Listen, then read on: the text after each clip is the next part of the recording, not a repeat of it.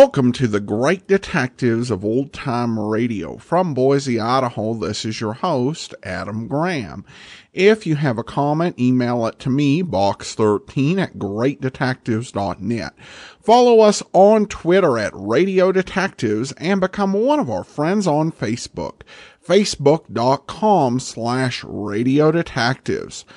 Before we get started, I want to encourage you, if you've not already, to pick up your copy of Tales of the Dim Knight. It's the first of my series of superhero comedy novels. If you enjoyed the 1960s Batman TV series or you like the Tick, I think this is a book for you. You can pick that up along with all of my other superhero comedy novels at uh, store.greatdetectives.net where you can find all my books, audiobooks, and ebooks. All right, well, now it's time for today's episode of Boston Blackie. The original air date on this one is July the 23rd, 1947, and this one is Boston Blackie in Wax.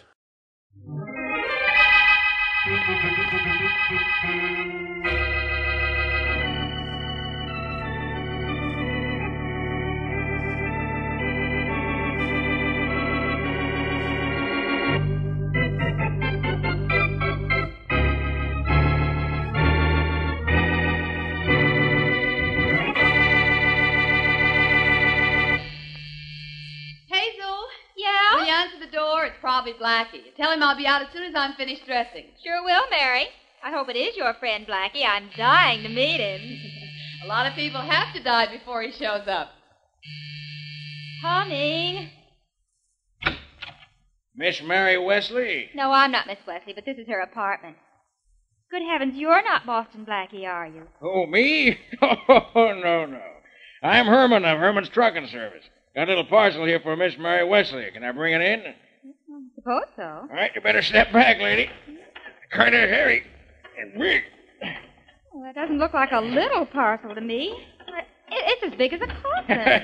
Herman's Trucking Service holds everything, lady. Coffins to coffee cups is our slogan. Uh, there, can I leave it right here? I don't know where else you'd leave it. Oh, Mary! Yeah? Mary, there's a big box out here for you. What are you expecting? Mm, Nothing that I know of, Hazel. I'll be right out, though. Oh, she don't have to hurry, lady. Herman's Trucking Service don't rush its clients. You can sign for it. Oh, all right. There you are. Thanks, lady. Guess I'll take my rollers. You don't want them. No. Well, so long, lady. Remember the name, lady. Anytime you want anything hauled, just call for Herman of Herman's Trucking Service. Mary! Mary, come and look at this thing. It's as big as a. Oh, I see it, Hazel. Ooh, how lovely you look. Pretty dress, isn't it? Hope Blackie likes it. What in the world is in this box? I hope it's not what it looks like. Does look like a coffin, doesn't it? Handles and all. I wonder what it actually is. I wonder how we um, open it to find out. Here's something that looks like a latch. It is a latch. Huh? I think this thing will open now. Something needs oiling. You know, I think. Oh, no! Mary. No! Mary, what's the no, matter? No, no. Hazel, there's a body in there. A dead body. And it's. Oh, no. Boston Blackie.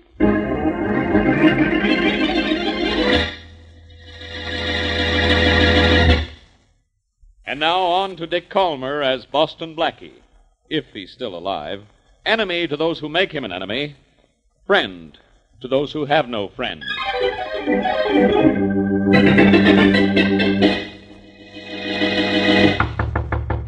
a minute. Yes? You're Boston Blackie, aren't you? But. Yes, I am. uh, you like it, don't you?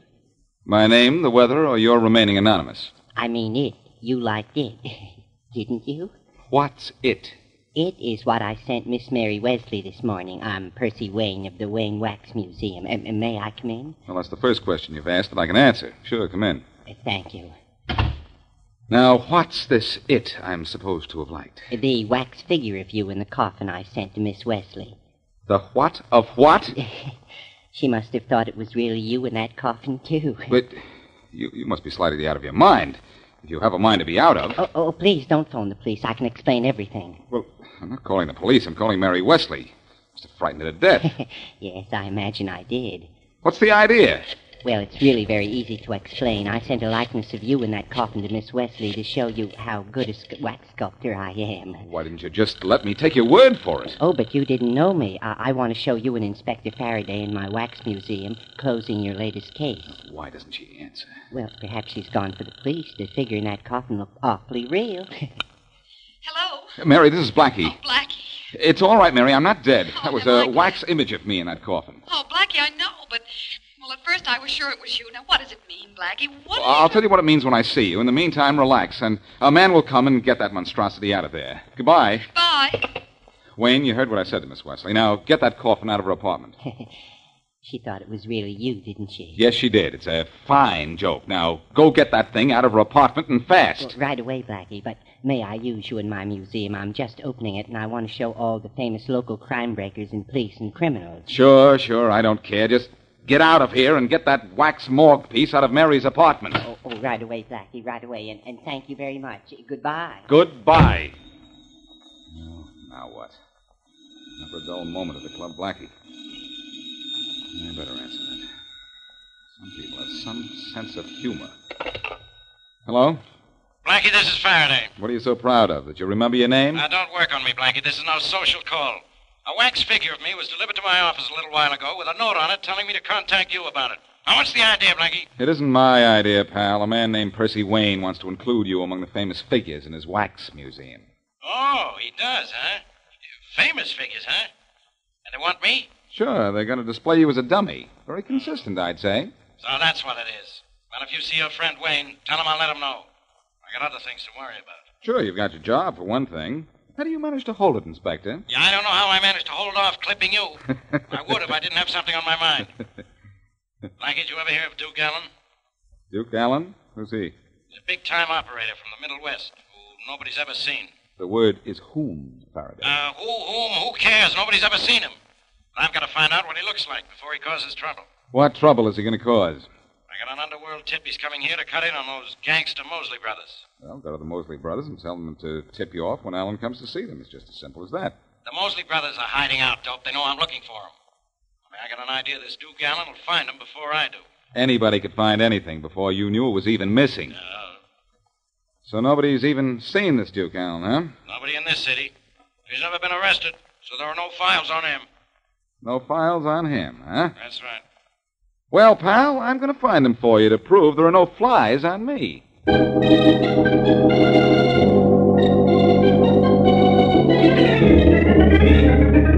You'll kick through with that thousand dollars, Mrs. Brighton. You're going to be an awfully sorry lady. But I don't have a thousand dollars, Mr. Mosley. Then get it and get it fast. I'll be around to your store at noon tomorrow. We want you to have it. That's all. My brother will take you to the door. Bob. Sure, Oh, Lenny. Mr. Mosley, can't you give me more time? Lenny I'm a said poor we'd woman. see you at noon tomorrow, ladies. So long. But you've got to give me time. I have to have time. Well, One more customer we got. yeah. You know, we've done good, even though we are hiding from Faraday and his cops. Right.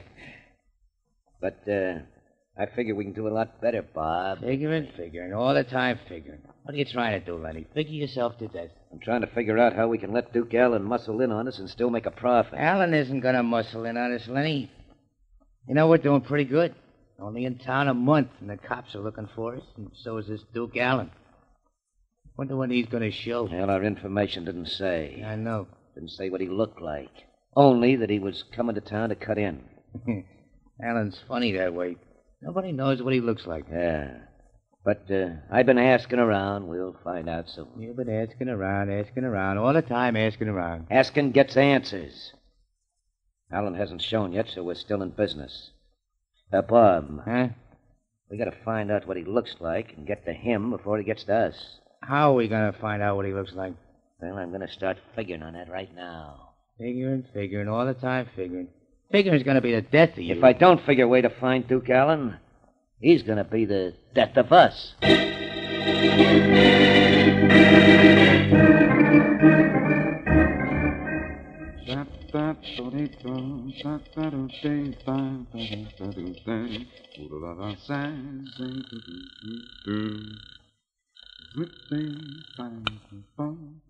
Wayne Wax Museum. Percy Wayne speaking. Uh, uh, Mr. Wayne, this is Boston Blackie. Oh, hello, Blackie. I have the figures of you and Inspector Faraday on display already. Are you coming down to see yourself? Uh, not right away. Oh. Uh, look, Wayne, do you have a wax figure of Duke Allen in your museum? Duke Allen? Yes, I do. Is it the Duke Allen, I mean? Well, yes. No one's supposed to know what he looks like. Well, I do, though. I met him in Kansas City once and even shook hands with him. Brave of me, wasn't it? Well, Allen hasn't killed everyone he's met. What? Is the figure of Allen on display? Oh, yes, it's one of my favorites. You ought to come down to see it. It's my best effort. Well, I'm not interested in seeing it right now. Dear, I thought I'd have a visitor. I've been open all day and I haven't had one customer. Well, I'm going to run an ad in the newspapers for you saying you're displaying a figure of Duke Allen. And believe me, you'll have customers, at least two paying customers, dropping in for a payoff.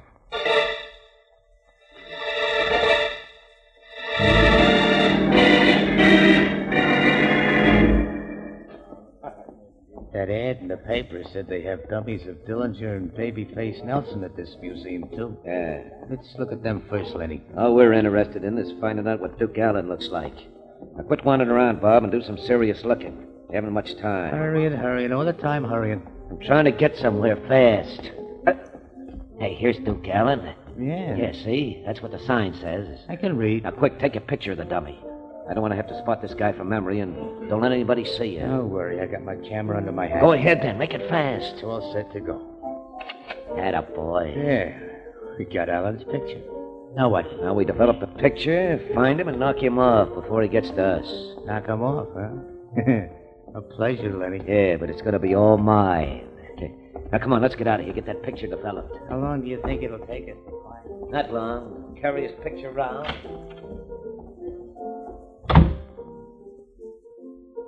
Well, Blackie. Wait a minute, Mary. Stay in hiding.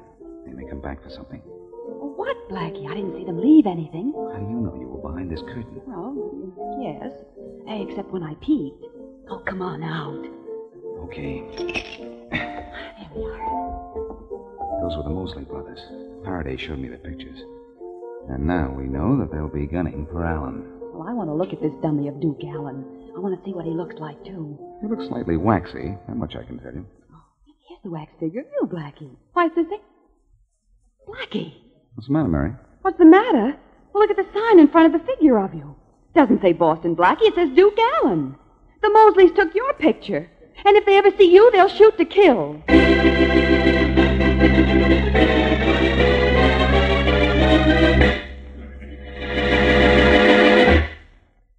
And now back to Boston Blackie.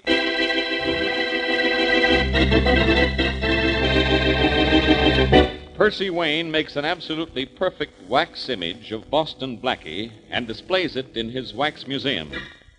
Also in the museum are the figures of other famous crime fighters and detectives and scores of famous criminals of the past and present. Duke Allen, Midwest racketeer, is coming to town to take over from the Mosley brothers, local racket bosses. No one knows what Allen looks like. That is, no one but Percy Wayne, who has a wax figure of him in his museum. The Mosley brothers learn this, come to the museum, take a photograph of the figure marked Duke Allen, and then set out to find and kill him. What they don't know, however, is that the figure marked Duke Allen is actually that of Boston Blackie. As we return to our story, the Mosley brothers are in their hideout as the telephone rings. Hello is this one of the Mosley brothers? Who wants to know? I do. This is Duke Allen. Duke Allen. Surprised I found you. Yeah. Who is this, Lenny or Bob? It's Lenny. Hiya, Lenny. Hiya. I'm coming up to see you with Bob. How'd you know where to find us? I got ways of finding out a lot of things. I found out you and Bob are doing so good, I think I ought to cut in. Or maybe take over. Bob and I aren't cutting anybody in. Maybe we might cut you up a little, but not in. That's kind of tough talk. Yeah, I know. I'll soften you and your brother up. I can find you. You can't find me. You don't know what I look like or even where I am. Think we don't know what you look like, huh? That's right. It's wrong. We know where you are, too. So you say. Well, just to prove it to you, just to prove we're a little tougher to deal with than you think, I'll phone you back as soon as my brother comes in. You will, huh? You really think you know where I am? Where you are? What you look like. Only try to cut in on us, Duke, and I'll hate to tell you what you look like.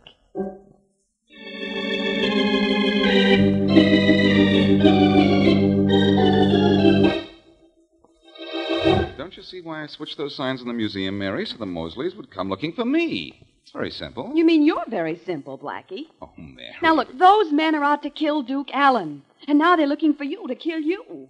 I know they're looking for me, and I made it easy for them to follow me, too. In fact, one of the Mosley brothers was following us when we came into the building just now. Oh, just fine. Any minute I expect a knock on the door. Uh, no, no, I, I don't think they'll try to knock me off here. At least I hope not. It'll spoil my plans. Spoil your plans. Oh, brother, what an understatement. It'll spoil you. Mary, this plan of mine will bring the Mosleys out of hiding and may bring Duke Allen out in the open, too. Then Faraday can grab all three. Excuse me a minute. Who are you calling? The police, I hope. No, just downstairs to have a little chat. Yes? Uh, Harry, don't forget. If anyone phones for Duke Allen, give me the call. No one's called for him so far, Blackie. But I'll ring you if anyone does. Thanks. I don't think the Mosley brothers will phone, Blackie. They'll just come up here. They'll and... have to phone first, Mary. I know I was followed to this building, but they don't know which apartment I'm in. And besides, my theory is they'll invite me to meet them somewhere for a conference. Mhm, And I can guess what kind of a conference, too. Hello, Blackie. Bang, bang. Goodbye, Blackie. oh, I think they'll give me a little better break than that. Oh, I wish you'd give yourself a break and ask for police protection. What? And be obligated to Faraday for the rest of my life? The rest of your life is going to be rest in peace. You don't forget this nonsense. It's too late to forget it now. And besides, it isn't nonsense. I want to get the Mosley brothers for Faraday. Oh, the things you do for Faraday and the way you talk to each other when you meet. Oh, you think you were the worst enemies in the world. I don't get it. you know how fond I am of that old guy. No. Well, maybe this is that call I want. And the one I don't want. Shh. Hello? Let me speak to Duke Allen. Speaking. Hello, Duke. Hey. Hey, your voice sounds different. I got a surprise for you. this is Lenny Mosley. Well, Lenny Mosley, you don't Uh-oh. say. I did say I'd call you back, so I'm doing it. You surprised? Yeah, I yeah. Didn't think I knew where you were, did you? I guess you're a pretty smart guy. Yeah. I want to see you because I'm taking over, Lenny. All by myself, too. Maybe we can make a deal. I run things all by myself. That can be kind of lonesome, Duke. Now, look, I got a proposition to offer you where maybe we can all be happy. Nobody will get hurt. Proposition, huh? Let's hear it. No, no, no, no, not over the phone, Duke. Meet us somewhere, huh? You name the place. We don't want any ears in the wall. That's right. How about the storeroom and the old warehouse on Lyons Road? That's easy to find. Okay, what time? Uh, eight tonight. We'll be waiting for you. I know. I'll be there. So long. Well, Mary, that does it. What funeral parlor do I phone? Do you have any preference? I prefer right now not to think about that, Mary. I'm going to call Faraday, and at 8 o'clock tonight, he and I are going to make the warehouse the house where we grabbed the Mosley brothers. The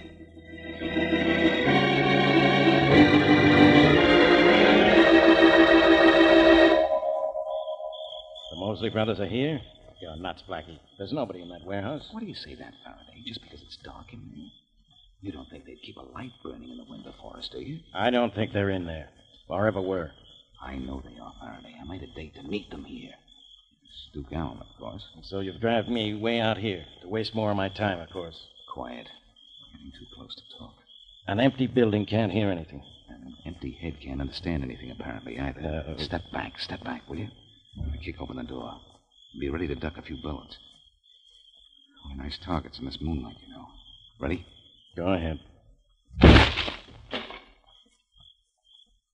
Well, Blackie, Guess we'll have to go in and after them. now we got a better chance of going in after a million dollars. Ready with your gun, Faraday.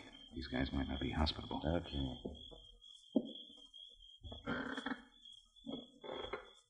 Faraday, this floor sounds like your shoes. They may be behind that door there. I can see behind the door. It's nothing but wall. Hmm. There's no one here. That's funny. Ha ha. I'm hysterical. Genius, aren't you, Blackie? Kind of a semi pro genius right now. Wait till I put this light on. Turn it off. I can see you, and I'd rather not. Faraday, that light bulb was warm when I touched it. Now he's taking the temperature of electric lights. Come on, stupid. Let's get out of this joint. Wait a minute. Huh? The Mosleys kept their date here. I'm sure of it. I wonder what made them leave. Who cares? I wonder what I'm doing here in a warehouse with a bunch of old newspapers and a young idiot. I'm just looking at one of those newspapers. Take a peek at the one on top here. It's from last July. Huh? Our pictures are on the front page in that Jeff Martin case. Now, don't remind me of it. I still say my idea. Faraday, Right. I've got it. The Mosleys were here, but they left when they saw this picture of me in the paper. They knew then that I'd tricked them into thinking that I was Duke Allen, so they scrammed. Hey, that's right. And I know right where the Mosleys went from here, too, to the museum. They still have to get a picture of Duke. Come on, Faraday. If they want to take a picture, grabbing them ought to be a snap.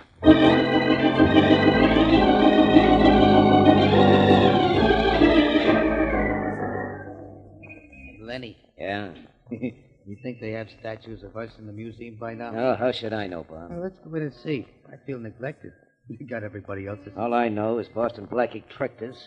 We got to get Duke Allen's picture and scram out of that museum as fast as we can. Hurry and hurry and all the time hurrying. Well, come on, let's go in and. Like me to go in with you, boys? Huh? Who are you? Maybe the guy wasn't talking to us, Lenny. Oh, yes, I was, Bob. Allow me to introduce myself, boys, in person this time. I'm Duke Allen. Huh? Duke. Surprised? Yeah. Come on, walk down the alley with me so we can talk. Yeah, yeah, sure. What are you doing here, Duke? Uh, Gonna look in the museum to see if you can find statues of us? I don't need any wax dummies to tell me what you boys look like. All I needed was a few connections. not supposed. Hey, Lenny, he's got a gun. Also got a knife in his neck. Lenny, almost fast. And it was a pleasure, too. But quick, let's pick him up, dump him in the back of our car before somebody comes along. Okay, that's it. I got his legs. What are we gonna do when we get him in the car, Lenny? I don't know yet. I'm just figuring. Figuring, figuring, all the time figuring. Now, hold him with one hand, open the car door. Okay. Good. Now, one, two, three, and in. That's it. All right, quick, close that door. Somebody's coming down the street. Okay. Nobody can see him in there. What are we gonna do? Leave him there and scram? No, we'll drive him around town for a few hours till the museum closes. Then I'll figure out how to get rid of the body and Boston Blackie, too.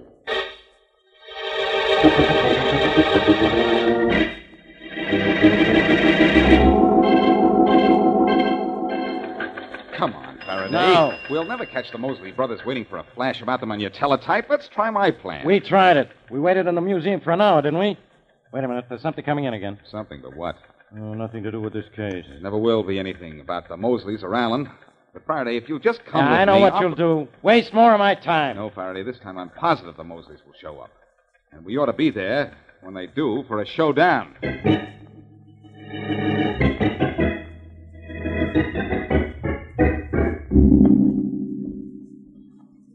Eh, this museum's sure a spooky place in the dark, Lenny. These figures look like ghosts. Yeah, you're just self-conscious, Bob.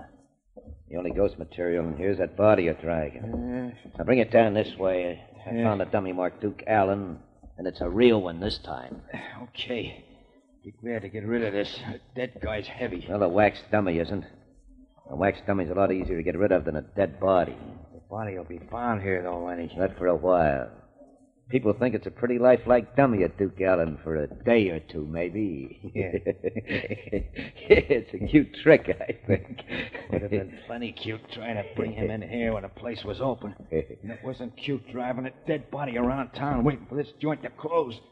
You shouldn't have killed him as soon as you did, Lenny. Well, it was him or us, Bob. I lay him on the floor, and I'll get that wax dummy of his out of the way. Okay. Well, come on, come on. Hey, Huh? Look behind us, Lenny. Isn't that something? And what something? The the figures behind us. The, the sign says Inspector Faraday and Boston Blackie. Each one with a gun in his hand. Look real almost. You're too real. They give me the creeps. I, I'm starting to worry. Worrying, worrying, all the time worrying. That's just. Hey, Lenny. Yeah? Those wax dummies behind us just moved. Oh, you're crazy. He's not crazy, Mosley, and you're not either. You're out!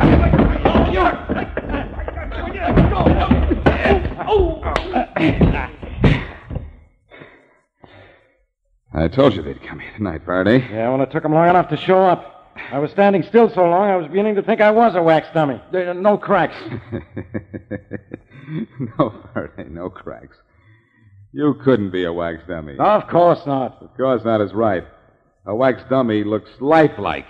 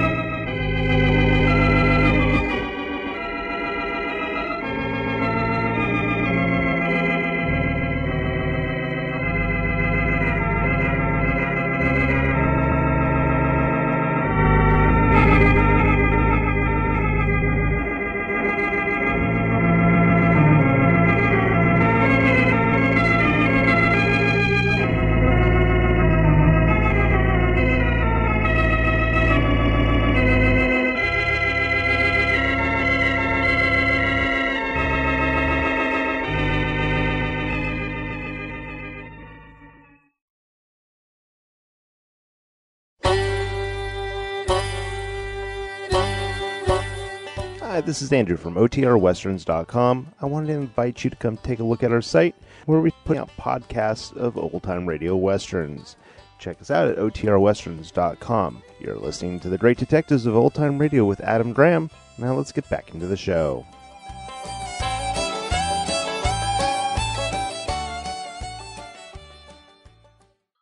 Welcome back. Uh, you have to wonder what the artist was thinking sending that statue to Mary Wesley. She would uh, like it. And I mean, someone even thinking that Mary would have called the police on that uh, already was that would have been really silly because we know from this series that Mary Wesley is a nurse. And after she gets over the initial shock, she should be able to tell the difference between a wax dummy and a dead body. Certainly she'd check and make sure Blackie was dead and then find out he was wax. So this was an interesting use of the wax figures. Certainly the wax museum thing is a pretty common trope, but a lot of those mysteries really play out a lot the same. Uh, just because Blackie kind of varies a bit from the formula, they were able to play around with it and really just use them in some pretty creative ways. So I enjoyed this episode. All right. Well, listener comments and feedback. And uh, we have a couple of comments regarding episode 2550, The Harmonica Man Murder. And uh, comment from Marky says, Hey, Adam, maybe somebody else pointed this out, but I think the reason the jilted boyfriend went to the ex fiance was to get him in trouble so that the girl would have neither of them. What I thought was more of concern is why did Blackie go to the fiance and tell him, I know what you did and I'm going to tell. That's one p- pet peeve I have with some of these old mysteries. People confront the bad guy by themselves. Hello, you figured out they're really bad, maybe a murderer. It might be a good idea to go to the police or at least have a friend along.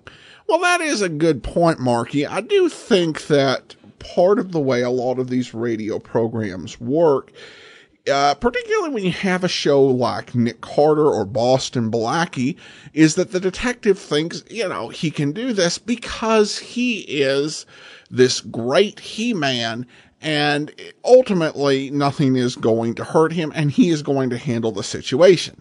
They pull a gun, he'll find a way out of it. And you can get away with that mainly when you're the main character of the story. Because, yeah, of course, the, you know, Boston Blackie's going to uh, be back next week. I did like the announcer's little play, like, uh, now Dick Kollmar is Boston Blackie if he's still alive. I mean, yeah, you're kidding. That was cute, though, the way they did that in this episode. But thanks so much for the comment, Marky. That's a fair point.